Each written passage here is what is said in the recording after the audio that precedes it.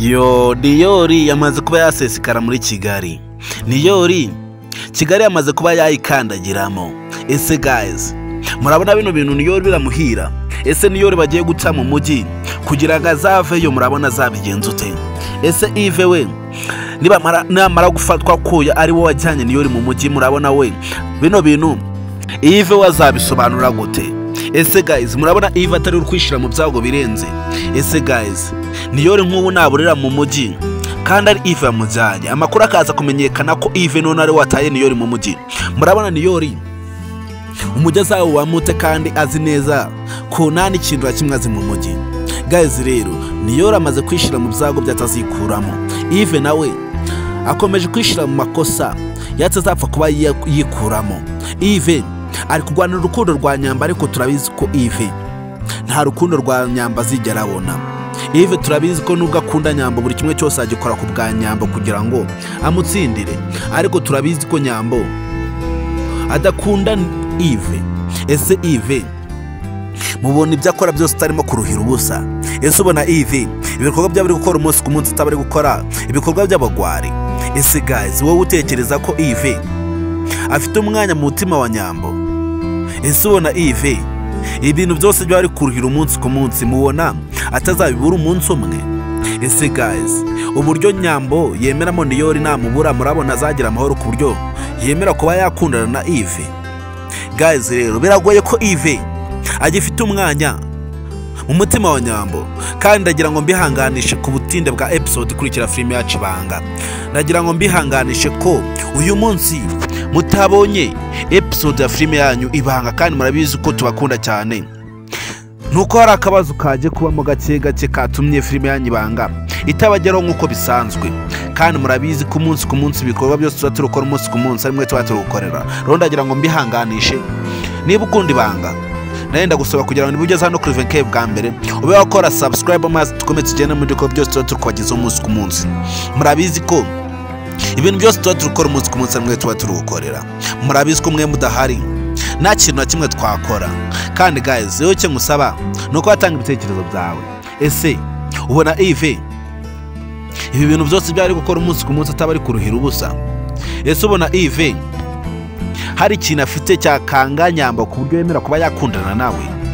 Ese ubona ive ibintu byose aho ava akagera byaba ari gukorera niyori ubona adari guhemuka noneho atari gutuma n'ubucuti yari afitanye na nyambo bugenda burangira gake gake. Gayizi rero niba uri umukunzi w'ibanga y'icyo ngusaba ni ukuba wakurikirana bende sensari yose ya filime yacu ibanga ziba ziwuca hano kuri venke empire. Kandi murabizi ko ingi yaracu na yo nyine kuri izo bende sensi z'ubwenge. Icyo ngusaba ni uko utabura kuri episode ikurikira filime yacu ibanga. Gayizi ese wowe utekereza ko ubu ngubu tuvugana ive afite amahirwe yo kuba yatsindira nyambo? Ese utekereza ko ive ubu ngubu tuvugana hariho ihirwe rimwe ryatuma nyambo amuha urukundo rwe. Niba uri umukunzi w'ibanga rero ndagusaba kugira ngo nuze kubura kuri episode ikurikira. Niyori we ubu ngubu tuvugana yabaye injiji ndetse yaburiye mu mujyi ubu ngubu tuvugana niyori yageze mu mujyi kandi kigali turabizi ko kigali batayigeramo ngo bakine. Kigali turabizi ko nta muntu uyisekeramo. Kigali turabizi ko iyo uyigezemo usabwa kugira ngo uhore ufunguye amaso.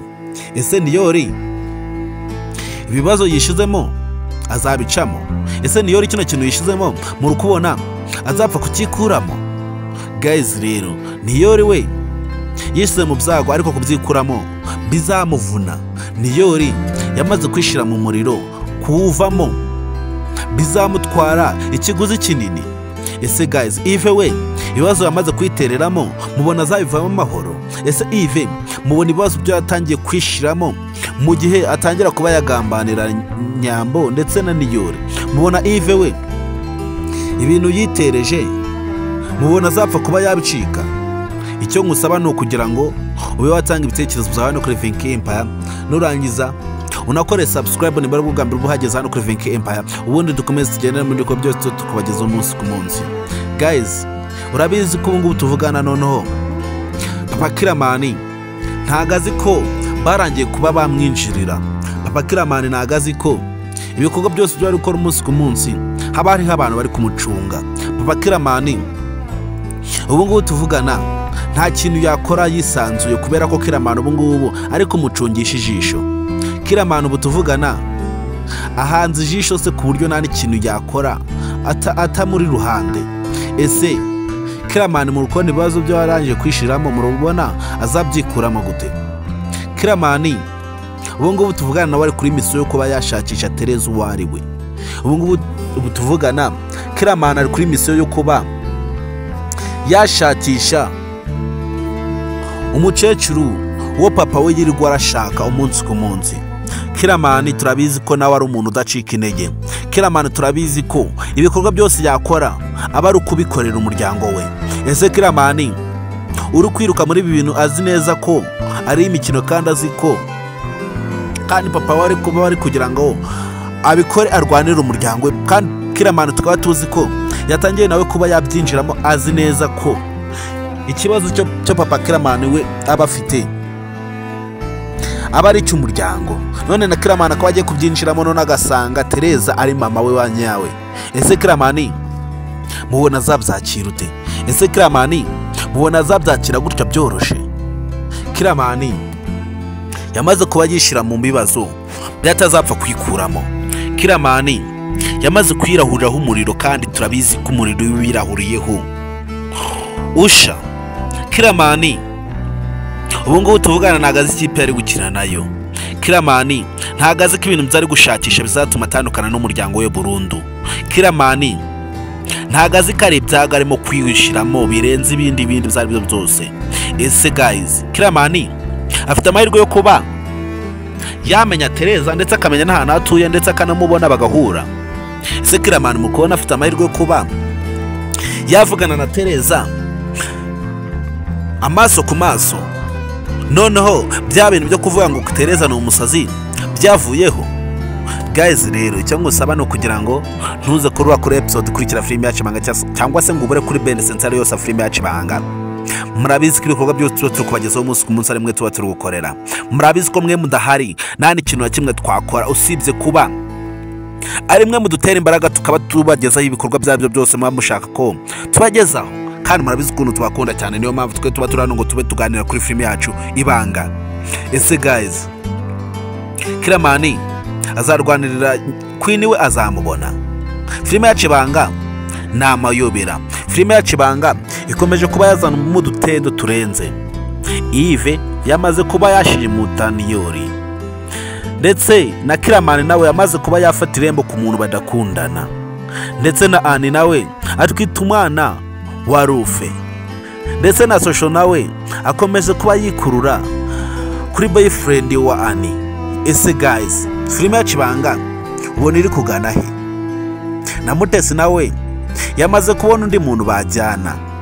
Ndetse n'agahima nawe turabizi ko ubu ngubu tuvugana afite ukuntu yiyumvamo dete jojo nawe twamaze kumenya ko hari ibyo ari gukemanga ku mubano wa dete ndetse n'agahima ese ubona ko jojo namara kumenya ukuri kose ku biri inyuma y'ibi byose ubona azakora iki?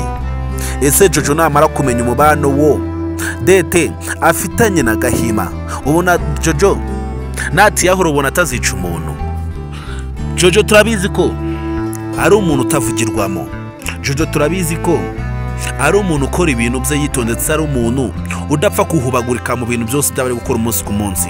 Jojo turabizi ko amaze kumenya neza umubano dete afitanye na gahima. Turabizi ko ubu ngubu ntabwo twaba tukivuga ano magambo turi kuvuga kano kanya. Jojo namara kumenya ibyihishe inyuma ya gahima ndetse na dete akamenya umubano bafitanye kino gihe. Turabizi ko filime yacu ibanga izahita ihindura isura. Ndetse turabizi ko na kwini namara kumenya neza ko kiramani ari uwaje gufata iwabo irembo akaba atari umukunzi we waje gufata iwabo irembo turabizi ko filime yacu noneho izahita ihindura isura. Turabizi ko noneho na nyambo namara kumenya ukuri kose ku biri inyuma ko niyore ari ivu buri kumushuka ngo bajyane i kigali. Ndetse ubu ngubu tuvugana none niyore bakaba bamutwaye i kigali. Nyamba akabimenya neza ko ibi byose biri inyuma ari ive turabizi ko ive nta mahirwe afite yo kongera kuba. Yavugana na nyambo. Ive ubu ngubu tuvugana yishyize mu byago kandi kubyikuramo bizamuvuna. Ive yamaze kuba yirahuriraho umuriro. Ive yamaze kuba yatakaza icyizere imbere ya nyambo. Umunsi nyamba azaba yavumbuye ukuri kose ku biri inyuma. Turabizi ko ive nta jambo azongera kuba yagira imbere ya nyambo. Gayizi rero murabizi ko nyambo uburyo akundamo niyori atemera kuba yamucika gutyo. Nyamba turabizi uburyo yemeramo niyori namara kumenya ukuri kose ku biri inyuma. Turabizi ko ive atongera no kugaruka mu cyaro ngo bamwemere. Ive yamaze kuba yishyira mu bintu atazikuramo. Ive turabizi ko ubu ngubu yamaze kuba yigira icyo ntazi ndetse yamaze kuba yigira icya ntazi. Ive yamaze kuba yigira akantu k'akajiji ndetse akigira akantu k'agacucu katazi ubwenge. Ive ibintu byose abikora ari gushyiramo ubwenge ariko akabishyiramo ubujiji burenze. Ese gayizi nyambo we? Amenyeje ukuri kose ko ari ive ushimuta niyori yamubabarira bagakundana. Ubu ngubu tuvugana umujyi bawusesekayemo ubu ngubu tuvugana niyori ndetse na ive umujyi bamaze kuwugeramo. Kandi gayizi icyo ngusaba ni ukuba watanga ibitekerezo byawe kandi ukuntu wiyumva kuri filime yacu ibanga kandi icyo ngusaba ni ukugira ngo ntucike na episode ikurikira filime yacu ibanga kandi agusaba kugira ngo unakore subscribe maze tujye dukomeza tugenda muri ibikorwa byose tukubagezaho umunsi ku munsi. Tereza aratuje ntabwo azi ibyabaye kuri niyori tereza ari aho aratuje ntabwo azi ikintu cyabaye ko niyori noneho ubu ngubu tuvugana umujyi yamaze no kuwusesekaramo. Ese gayizi utekereza ko ubu ngubu tuvugana? Niyori afite amahirwe yo kongera kuba yagaruka mu cyaro. Ese utekereza ko ubu ngubu tuvugana? Niyori afite amahirwe yo kuba yagarukira mama we bakabana. Gayizi rero niyori yibagije ibintu byose biri inyuma. Niyori yamaze kuba yatera intambwe imwibagiza buri kimwe cyose yasize inyuma.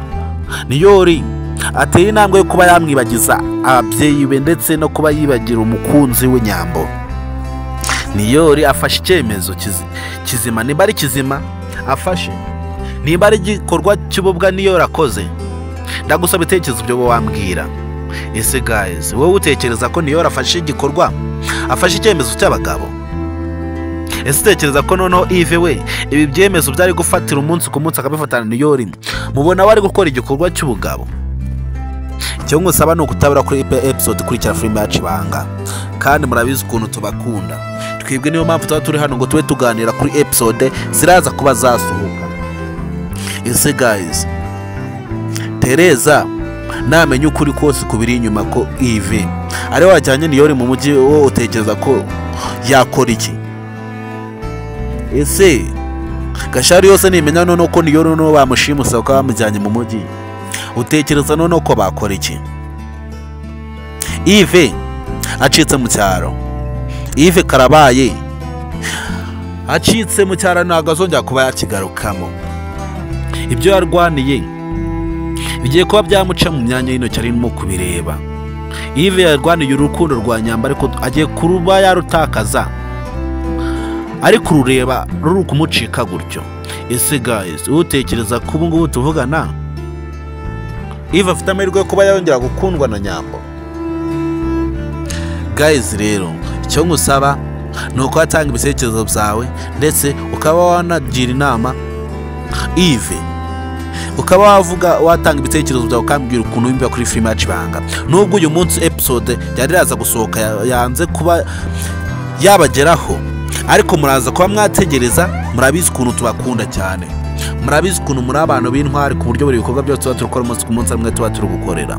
Gayizi rero nubwo episode y'umunsi itabagezeho ariko ndashidikanya ko muri abantu bafite imitima ikomeye kandi ku wese ukunda filime yacu ibanga murabizi ko ibikorwa byose ari mwe tuba turi kubikorera murabizi ko mutaturenganya. Natwe turi abantu ntabwo dukora nk'imana. Ese gayizi utekereza ko filime yacu ibanga iri kugana he? Ese utekereza ko mu gihe amakuru yose ahishe kuri filime yacu ibanga namara kumenyekanwa utekereza ko filime yacu ibanga hazabamo iki? Gihe jojo yamenyeje ukuri kuri gahima ndetse na dede utekereza ko jojo azakorera iki dede? Ese utekereza ko noneho azakorera iki gahima? Ese ubona yongera yahita atandukana na gahima? Ndagusaba ibitekerezo byawe. Ese iyo utekereje ko ubu ngubu tuvugana Queen yamaze kumenya ko ari kiramani waje gufata iwabo irembo? Ese utekereza ko noneho kiramani afite uburenganzira bwo kuba yongera kurebana na Queen mu maso. Ese Queen? Yamwirengagiza akamubabarira. Ese Queen yabikora? Icyo ngusaba ni ukuba watanga ibitekerezo byawe ubundi ukambwira ukuntu wiyumva nawe kuri filime yacu ibanga nibura umukunzi w'ibanga wa nyawe. Ese guys utekereza ko noneho kiramani we namara kumenya ko tereza ari we mama we wa nyawe? Ubona kiramani yakora iki? Ese ubona tereza we namara kubona umuhungu waje kumureba mu cyaro. Ubona tereza we azakora iki? Icyo ngusaba ni uko yatanga ibitekerezo? Ese papa kiramani we amabanga yahishe mu myaka zose? Namara kujya hanze bikamenyekana ko kiramani atari umuhungu wabo. Ese mubona papa kiramani we azakora iki? Icyo ngusaba rero ni ukuba watanga ibitekerezo byawe. Guys rero ntagutindiye. Murabizi ko byose tuba turi gukora umunsi ku munsi hamwe tuba turi gukorera. Icyo ngusaba ni ukuba wakora subscribe maze tugakomeza tukagendana n'ibikorwa byose tuba turi gukora umunsi ku munsi. Nubwo episode y'umunsi yatinze ariko murabizi ko tubakunda cyane. Murabizi ko muri abantu b'intwari hano kuri venke empire. Guys rero kongere duhure ku yindi episode ikurikira cyane. Ndabakunda muri abantu b'intwari.